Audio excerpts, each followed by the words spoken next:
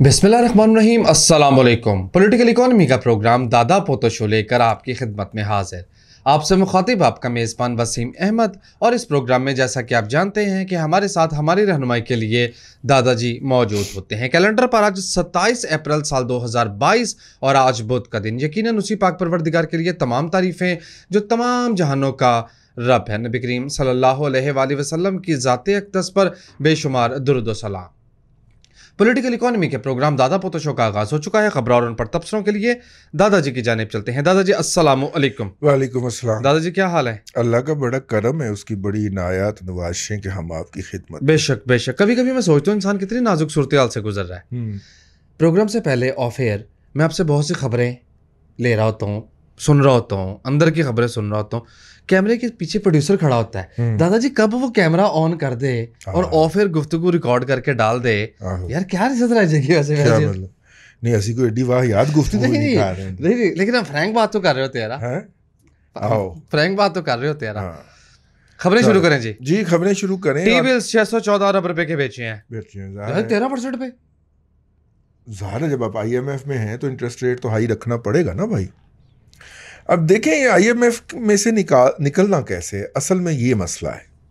IMF में से निकलना कैसे और जब तक हम नहीं निकलेंगे अब अगर दो हज़ार पंद्रह से दो हज़ार तेरह से ले कर अठारह तक का भी देखें तो उसमें भी पहले दो से ढाई साल कोई ना पावर के सेक्टर में ना प्राइसेस के हवाले से रिलीफ नहीं मिला था कौम को। जी। जी ठीक है? और ये हुकूमत तो है भी इतिहादियों की और आने करवाने भी इलेक्शन आई है। इमरान खान साहब जो हैं वो ऐसा बूबी ट्रैप लगा के गए हैं ऐसी माइंस बिछा के गए हैं। ये ये जो हुकूमत है जो कि 2000 अगर 22 में इलेक्शन करवाती है फिर भी या 23 में करवाती है उस तक मुझे रिलीफ नहीं नज़र आता। ओ मैं मैं आपको चाचू के लिए भी मुमकिन नहीं होगा चाचू के लिए मुमकिन नहीं होगा। चाचू थोड़े बहुत मैयर कर लेगा जिस तरह वो आटे के अंदर उसने सब्सिडी दे ली है चीनी की कीमत कम कर दी है। चाचू वो काम कर लेगा। हम्म, लेकिन मुझे रिलीफ नज़र नहीं आता, क्योंकि अफरात ज़र कंट्रोल नहीं कर पाएँगे। अफरात ज़र आप इसलिए कंट्रोल नहीं कर पाएँगे कि आप आईएमएफ के प्रोग्राम में होंगे। और आईएमएफ ने जब आपको टाइट करना है कि जी फलां जगह पे टैक्स लगाएँ या फलां जगह पे ऐ तो जी पिछले लेख के दे गए हुए ये पिक तो, तो पिछलों ने मार दिया। पिछलों की जो है वो चीज़ों को रीनिगोशिएट अगर कोई आदमी कर सकता था मैं क्या करूँ? मुझे ये कहना पड़ता है।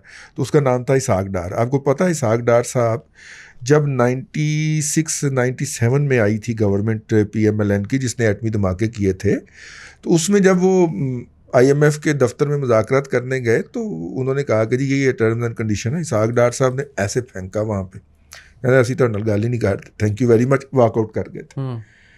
आईएमएफ को तंदल पड़ गई थी उनके बोर्ड को कि इसको वापस लाए मना के। ये बैठ के बात तो करे हमसे। उसने कहा हम आपसे बात ही नहीं करना चाह रहे आप कर दें डिक्लेयर हमें। ठीक है? उस वक्त पाकिस्तान का अच्छा भला वज़न था यार। हम्म। वो तो खैर बेड़ा गर्क किया मुशरफ ने और बाद में इन्होंने चिरागों में रोशनी ना रही। लेकिन वो फिर हम बकायदा फिर अगली मीटिंग के अंदर बकायदा वो अपनी औकात पे आए हुए थे। अपनी टर्म्स एंड कंडीशन पे पाकिस्तान ने कहा था कि हम ये करेंगे वो करेंगे और फिर उसके बाद धमाका हो गया हम पे पाबंदियाँ लग गई। एटमी धमाका हो गया पाबंदियाँ लग गई तो वो फिर प्रोग्राम भी स्टॉल हो गया था अगर आपको याद हो और फिर बागड़ बिल्ला आ गया दूध पीने के लिए। हम्म। मुशरफ साहब तशरीफ़ ले आए लेकिन उनके साथ पूरा पार पा के निगोशिएट करना पड़ता है।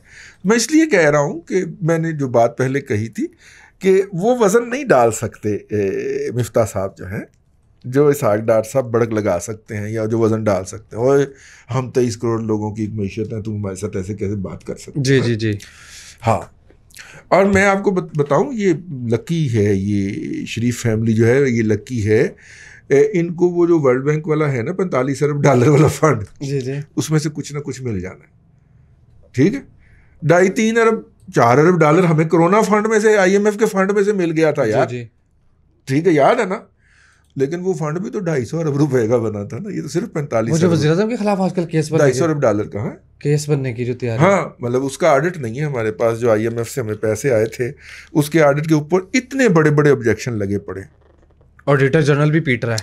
चलो मतलब अगर आपको पचास अरब रुपए की रसीदें नहीं मिल रही यार ऑडिटर जनरल पीटी जा रहा है जो सरकारी अदारा है। उसने बहुत सी छोटी मोटी दो नंबरियाँ नज़रअंदाज कर दी होंगी। यार जरा बंदा एक सौ इकतीस तोहफे मुफ़्त में ले गया। पहले उनकी असेसमेंट करवाई तीस हज़ार से कम कीमत के ऊपर, वो तीस हज़ार का उनमें से कोई तोहफा नहीं। टेबल मैट तक नहीं छड़े। पहले उनकी असेसमेंट करवाई कि जनाब, ये तीस हज़ार इनकी मलकियत नहीं है, या उससे कम है।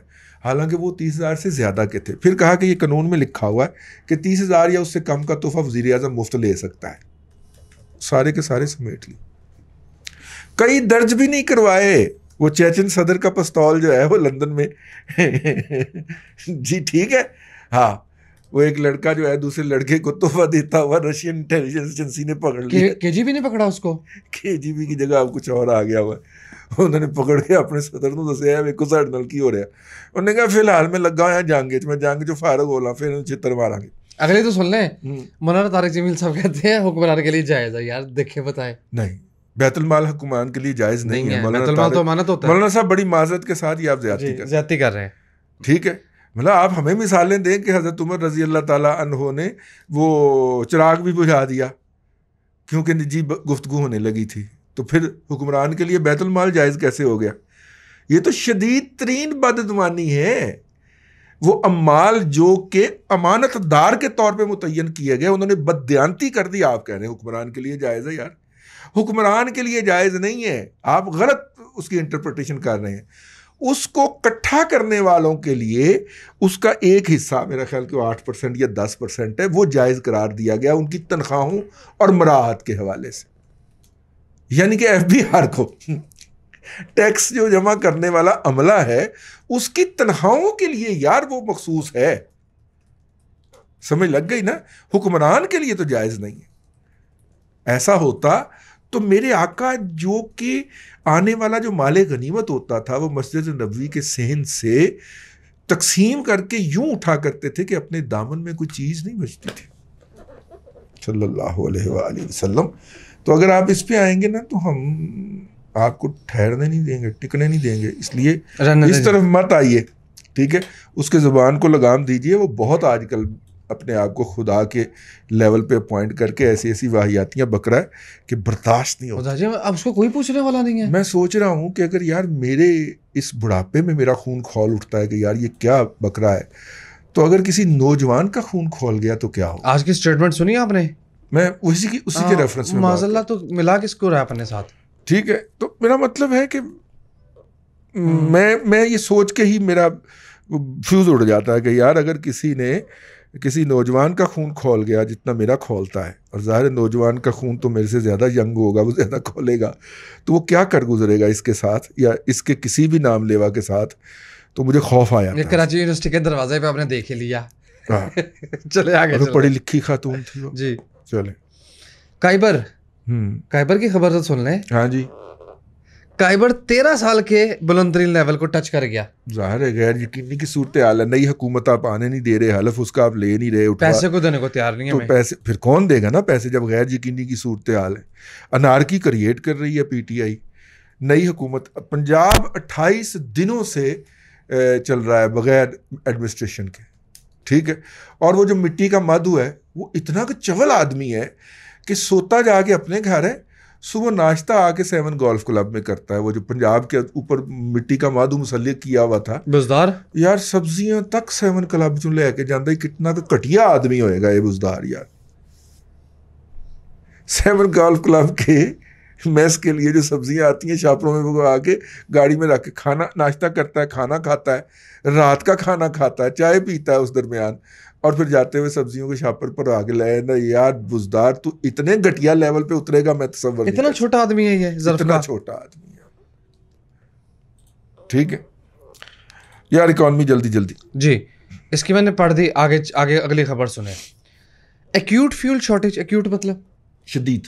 अच्छा जी Hubco on the verge of shut down गुमन साहब की खबर है। अच्छा लेकिन हबको तो फ्यूल से तो नहीं वो तो Multi fuel है ना? पे नहीं चला गया हुआ था? हाँ मल्टी फ्यूल है। अच्छा मल्टी फ्यूल है। मल्टी फ्यूल है ना? अच्छा हमें तो बताया जा रहा है कि हब ये मेरा ख्याल ये सारी जो है ना ये कामरान कमाल साहब और ये इसके सीईओ जो है ये सारी मेरा ख्याल नई हुकूमत को ब्लैकमेल करने के इंस्ट्रूमेंट्स हैं रायतें लेने के। हो सकता है। ठीक है। पेमेंटें भी तो फंसी चाचू की गवर्नमेंट ही नहीं बन पा रही। हम्म, ठीक।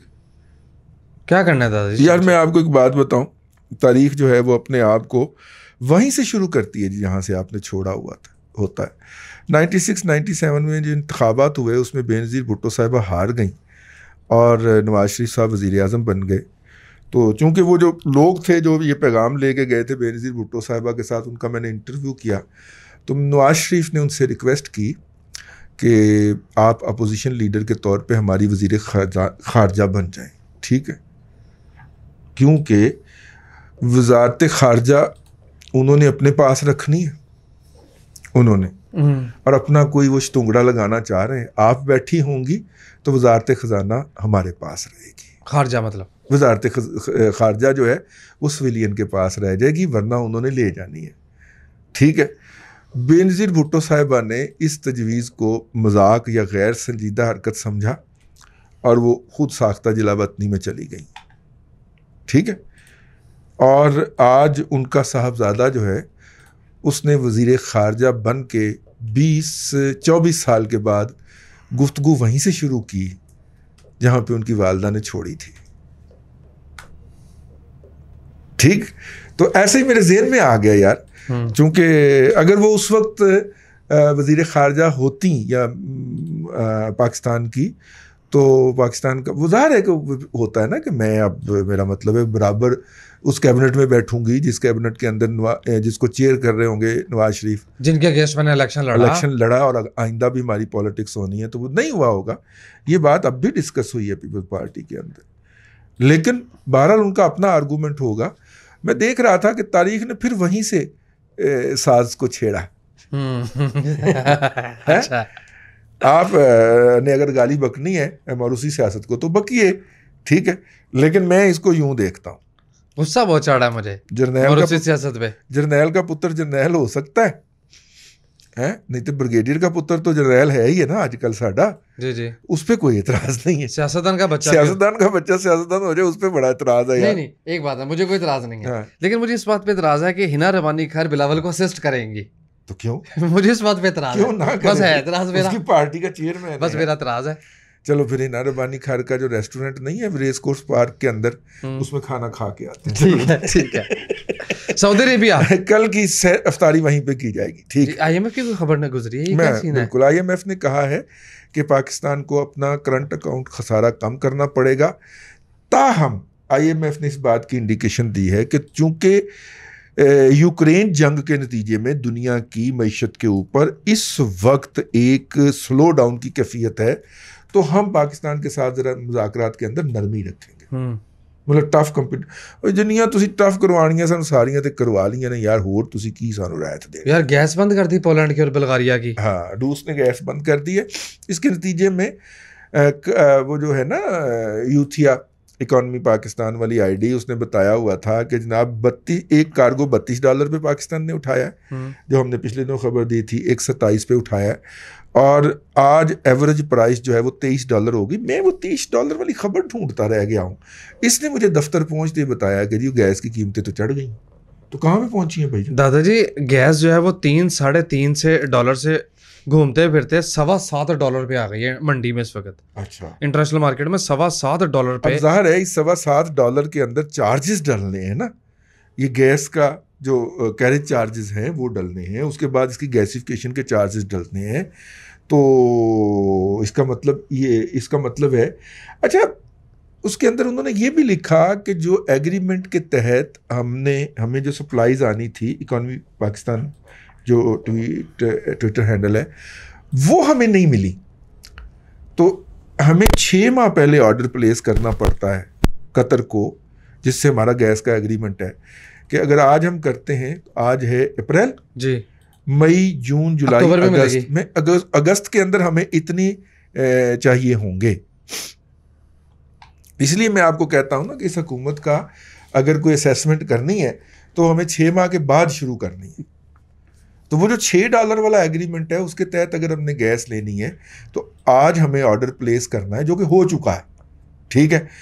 और वो हमें अगस्त में आकर डिलीवर होगा। हूँ अगस्त हमने लाना कैसे? उसके लिए हमें महँगी गैस खरीदना पड़ेगी।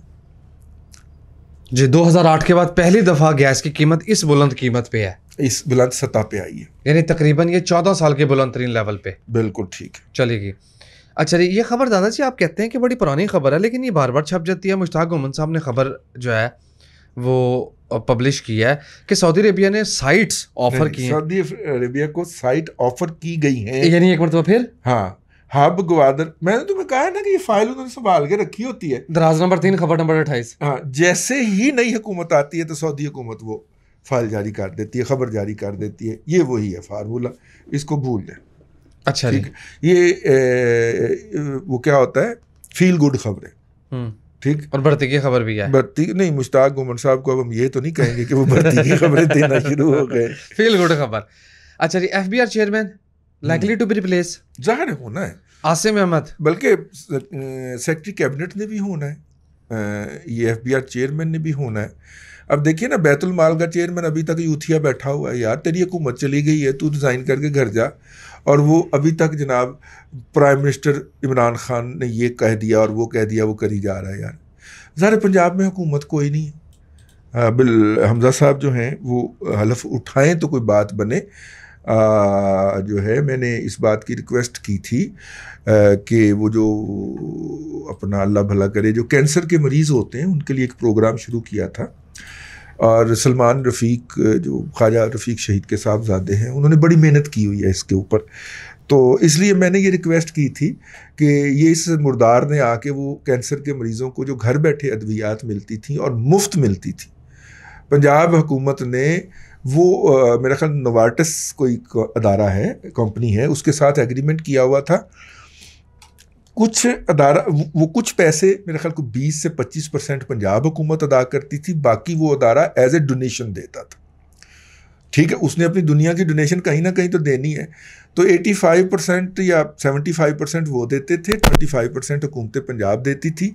और यूँ वो मरीज़ जो कि डिक्लेयर हो जाता था कि कैंसर का पेशेंट है, उसे ये मेडिसिन की ज़रूरत है, वो मेडिसिन का पूरा पैकेट जो होता था वो हर महीने या हर तीन महीने के बाद उनके डोर स्टेप पे डिलीवर हो जाता था।